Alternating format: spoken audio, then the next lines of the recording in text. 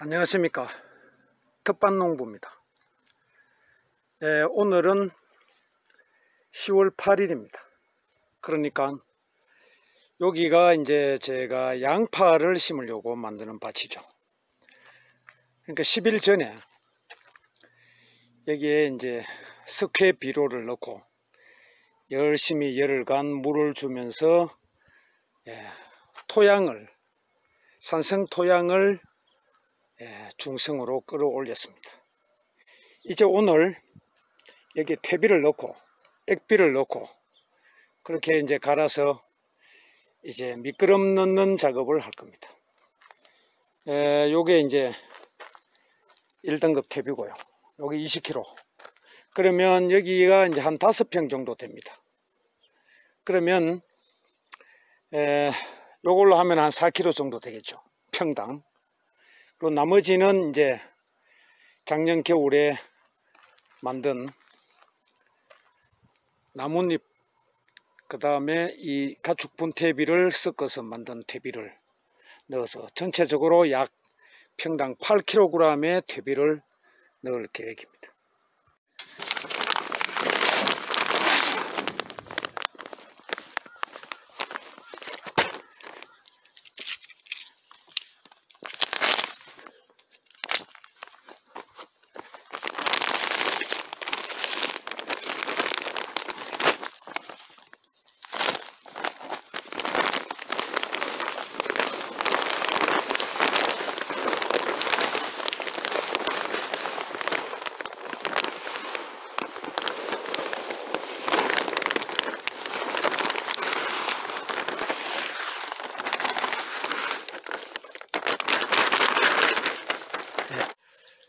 자 여기는 이제 원래 쓰려고 만들어 놓은 TV가 이제 마늘 어, 양파 파종을 하면 이제 마지막이기 때문에 예, 남은 걸 다 넣으면 됩니다. 요거는 이제 작년 어, 겨울에 예, 나뭇잎을 주워서 가축 분태비하고 같이 예, 부숙을 시킨 겁니다.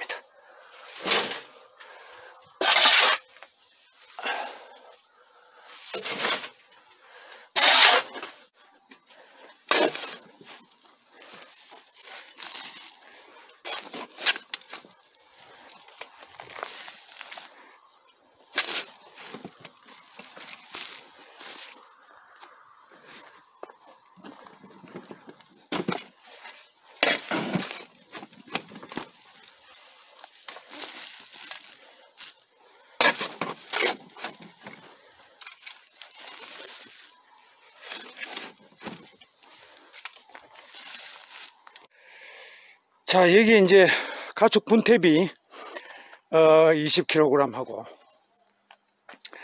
그 다음에 이제 제가 나뭇잎으로 만든 퇴비를 약 한 20kg 해서 총 한 40kg 그러니까 5평에 평당 약 한 8kg의 퇴비가 이제 뿌려졌습니다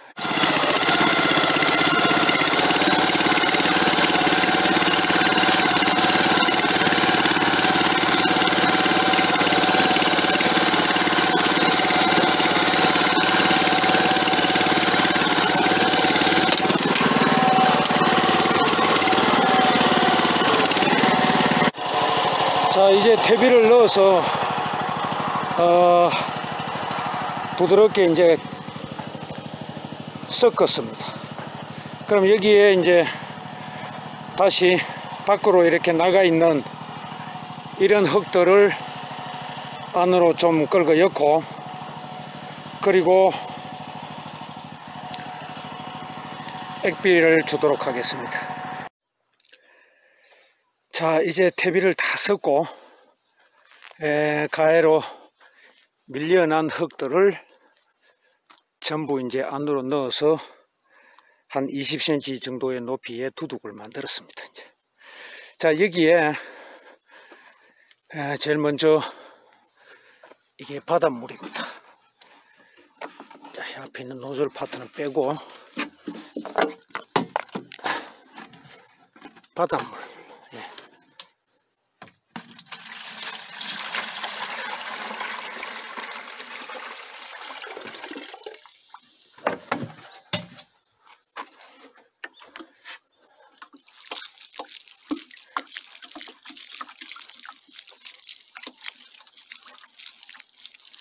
이 바닷물에는 에, 지구상에 존재하는 거의 대부분의 미네랄이 요소, 원소들이 다 포함이 되어 있습니다. 그래서 이 바닷물을 에, 넣어줌으로 인해서 미량의 원소들을 투입을 할 수가 있는. 그 다음에 자 요거는 네, 오줌 액비입니다. 아 다섯 대 정도.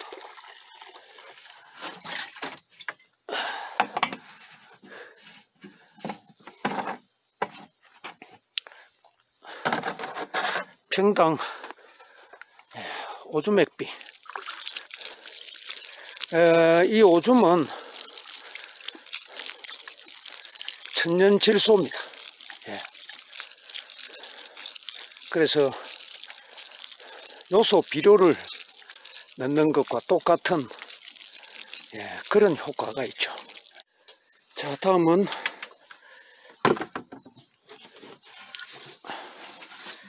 여기는 깻무개입니다. 예. 아주 잘 만들어져 있죠. 예. 누렇게 색깔이 나면서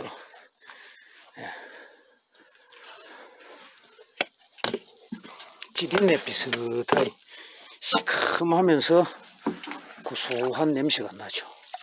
자, 이걸 마찬가지로 평당 한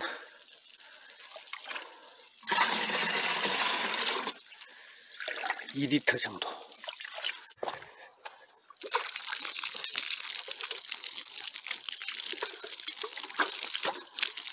깻목 액비. 깻목 액비는 제가 여러 차례 설명을 드리지만, 어, 우리가 사용하는 액비 중에서 예, 천년 복합 액체 비료다 이렇게 생각하면 됩니다. 액체 복합 비료. 예. 질소, 인산, 칼륨이 고루 들어있는 좋은 재료죠. 예. 자, 요거는 음식물 액비입니다. 음식물 액비도 마찬가지로 에, 그 물을 딱 씌워주면 이게 이렇게 위로 붕붕 뜨거든요. 그러면 이렇게 자주 저어서 또 밑으로 내려가도록 해주면 됩니다. 그리고 음식물 액비통에 물을 채울 때는 가득 채우지 마시고 이렇게 한 5cm 정도 남겨 놓는 게 좋습니다. 지난번에도 설명을 드렸지만 음식물 찌꺼기들이 예, 수시로 나오기 때문에 예, 내가 액비를 어, 줄 주기도 전에 음식물을 투입해야 되는 경우가 있겠죠. 퍼내고 넣어주면 되는데 그렇지 못할 경우에는 넘치게 되니까 5cm 정도는 항상 비워 놓는 게 좋습니다. 그러면 이 음식물 액비 또한 여러 가지 그름이 들어있는 아주 좋은 액비입니다. 우리가 생활하면서 정말 끝도 없이 생기는 이 음식물 쓰레기 예. 반찬을 만들기 전에도 생기고 먹고 난 잔반도 생기고 예. 이거는 언제든지 이렇게 넣어서 물 부어주면 액비가 됩니다. 자, 옛날에 우리 어머니들이 어, 부엌 앞에다 구중물통 놔놓고 거기에 음식물 찌꺼기 이런 거 넣고 물 부어 놨던 게 있잖아요. 그게 바로 이 음식물 액비입니다. 그래서 여기는 그 짠 음식이든 뭐 뭐든지 다 넣으면 됩니다. 그리고 또 말씀을 드렸지만 이렇게 퍼낸 만큼 또 채워 놓으면 됩니다. 채우되 5cm 정도는 남겨놓고 채우면 예, 음- 음식물 찌꺼기를 수시로 넣어도 넘치질 않게 자주 저어주시고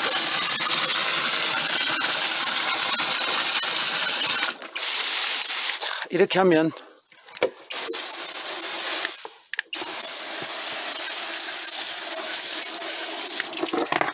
그리고 똥을, 통을 잘, 뚜껑을 잘 덮어야 됩니다. 뚜껑만 잘 덮으면 아, 구데기는 안 생깁니다. 뚜껑을 열어놔 놓고 어, 그런 뿌리고 오거나 이러다 보면은 어, 구데기들이 그새 파리들이 가서 알을 낳는 수가 있거든요.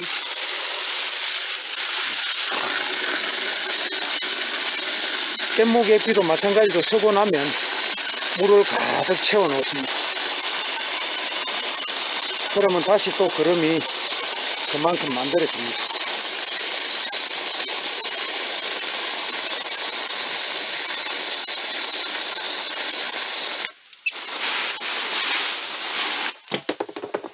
이렇게 해서 뚜껑을 빈틈없이 예, 빈틈없이 잘 닫아야 됩니다.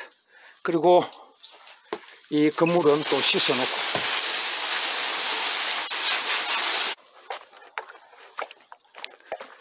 자 여기 또 바닷물 액비 깻묵 액비 오줌 액비에 이어서 아, 마지막으로 음식물 액비입니다 이 액비를 넣으면 좋은 게 물론 여기에는 그름기도 들어가지만 수많은 미생물들이 투입이 됩니다 예, 땅 속에도 미생물들이 있지만 다양한 미생물들이 여기에 들어가서 지금부터 이 퇴비를 분해하고 그름을 만드는데 큰 역할을 하게 될 겁니다.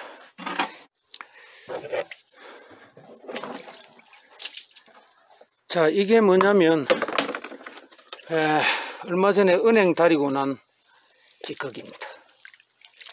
이걸 물을 부어 놓으면 또 이게 강력한 살충제가 됩니다. 아직도 이 살충 성분이 많이 남아 있거든요. 그래서 이걸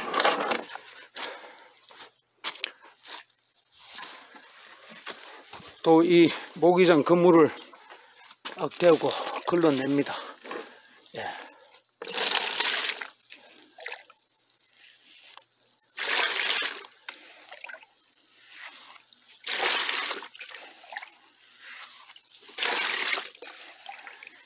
에, 지난번에 여 마늘밭에도 뿌렸다시피 마늘밭에는 그때 마늘 소독하고 나서 어, 거기에 섞어서 뿌렸죠.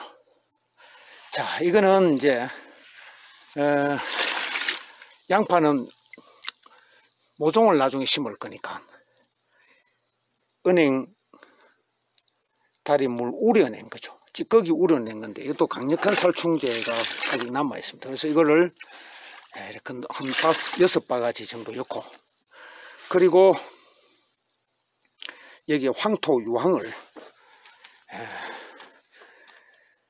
전체적으로 약한 100cc 정도 넣겠습니다. 자, 이것이 제가 만든 황토 유황입니다. 이거는 강력한 살균제입니다. 네. 이게 100cc. 100cc죠. 황토 유황을 100cc를 넣습니다.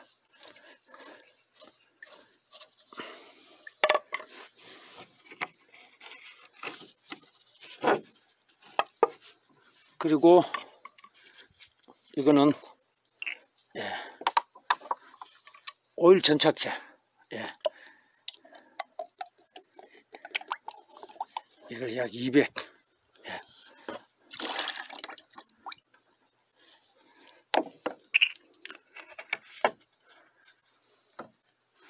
자, 이러면 강력한 살균 및 살충제가 됐습니다.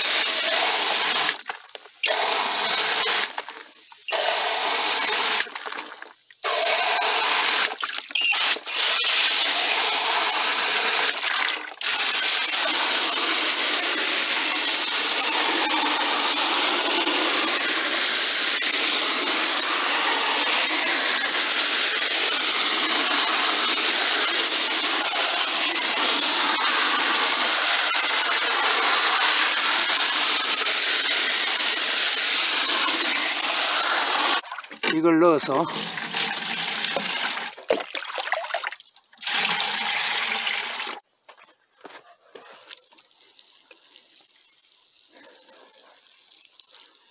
자 양파밭의 토양에 에, 살균 및 살충제입니다. 그러니까 살충제는 은행다리물 우려낸 거고요.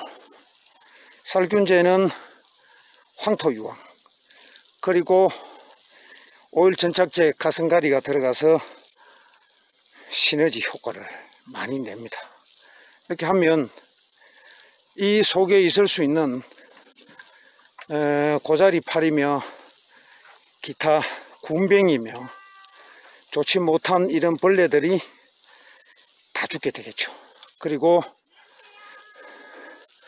어, 살균의 효과도 충분히 있습니다. 자, 이제 양파 심을 밭에 토양에 이제 마지막 단계의 물주기만 남았습니다.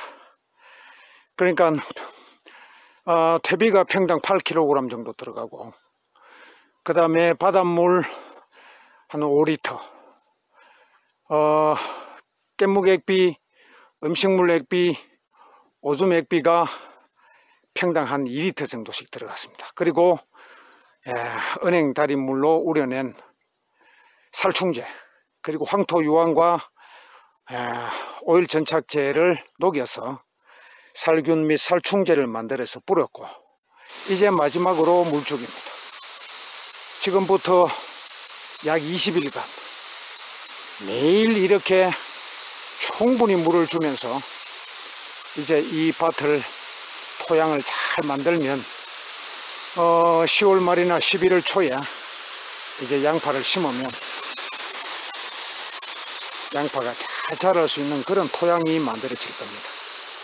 지금부터 물을 주는 이유는 누차 설명드리지만 이 퇴비는 에, 바로 식물이 먹을 수 있는 상태가 아니죠.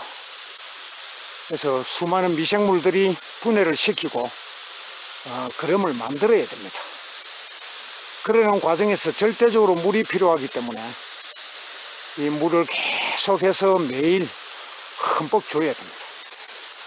그래서 주말 농장이나 이런 자주 갈 수 없는 분들은 어쩔 수 없지만 그래도 가능한 방법이 있는지를 최대한 찾아서 물을 많이 줘야 예, 내 밭의 토양이 잘 만들어집니다.